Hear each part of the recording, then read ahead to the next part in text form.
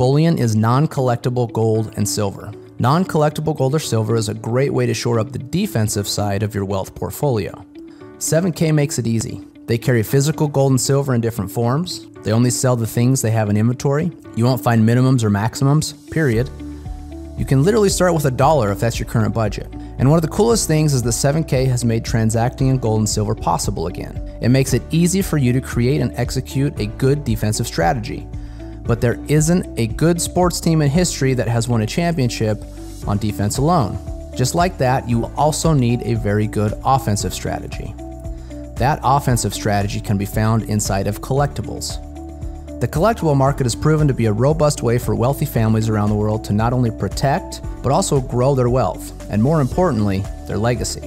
A collectible usually has to be rare or low mintage, has to have unique or artistic designs, a great story, or have historic significance. So if you look at the paper this amazing Spider Man comic book from 1962 is printed on, it's only worth a couple of dollars. In 2021, this comic book sold for a record $3.6 million. The person or family that bought this book was not buying the paper. They were buying the emotion, the art, rarity, story, and other things they found valuable about this book. In fact, most wealthy families that are playing the collectibles game are doing it not only for their financial protection or gain, but also to preserve their family legacy. If you look at the top five places wealthy families turned in order to protect and grow their wealth during the financial crisis of 2008, you will see that three of the five things are collectible in some way. And the other two? Sound money. Unfortunately, not many families have an extra million or two laying around to buy high end collectibles, nor would they even know where to start. But 7K is bridging the gap so that the average family can start playing the game with rare, unique, but also affordable collectibles through modern coins. In 2004, a coin called Tiffany Art Number 1 hit the market for about $90. Now, $90 doesn't seem unreasonable for the average family to scrape together in order to add this incredible coin to their wealth portfolio. Today, though, if you wanted to go buy this same coin, it would cost you at least $8,000.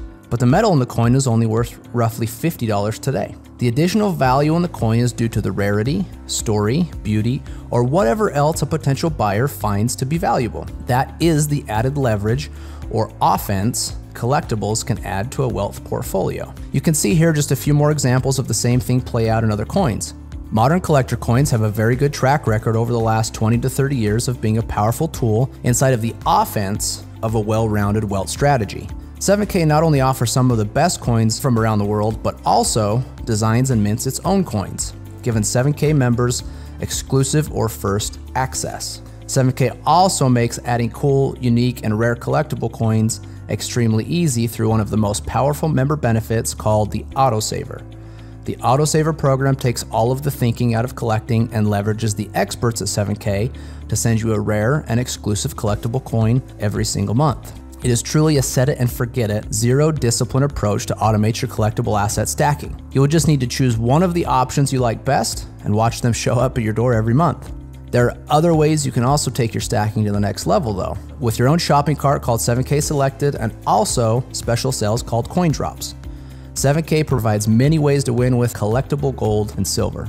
As you can see here, Eddie Spears has spent very little time to get a massive head start making sure a wealth legacy comes from him. All the same, Chris Latin Sr. says he collects both bullion and collector coins, and you can see he has built a very nice stack. He even claims it is now one of his most valued possessions because of what it will mean for him and his family in the future.